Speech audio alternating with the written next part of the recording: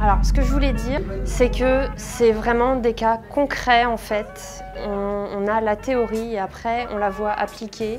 Et euh, c'est simplement euh, inédit pour moi en tout cas.